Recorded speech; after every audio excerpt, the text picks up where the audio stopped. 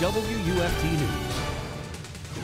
An icon is now eligible for sainthood. Coming up, we'll tell you more on the Pope's decree. And later, the story of how one local girl is changing the lives of those with cancer. But now, after a warm couple of months, the first freeze of the season is possible tonight. That's our top story. It's December 18th. I'm James Torrez. President Obama addressed the nation this afternoon to outline his agenda for the rest of his term. He took some tough questions about terrorism and the massive spending bill Congress passed today. NBC's Edward Lawrence reports.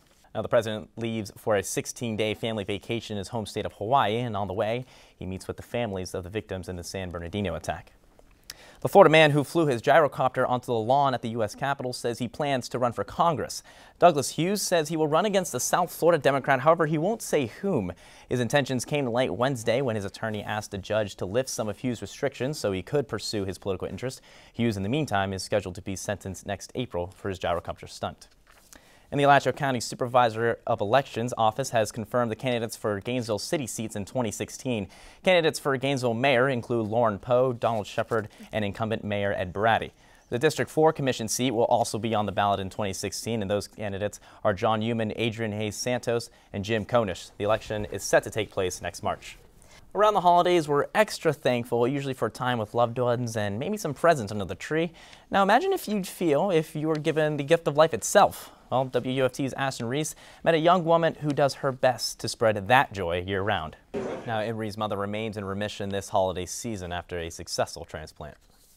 Well, WUFT News First at 5 is just getting started. Coming up in sports, we will cap off the top 10 plays of Florida football and show you which one made number one. Season Florida's had, they should have a pretty decent recruiting class for next year. Yeah, I definitely agree. Thanks, Jonathan. All right, well, hang on, Jonathan. Don't go anywhere just yet. Jenna, you either. You're going to get mad at me for this, by the way.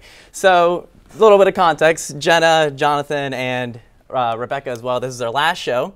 And myself and some of the fellows around WUFT uh, decided we wanted to let you go with the bang. Let's, let's roll this video here. Johnny.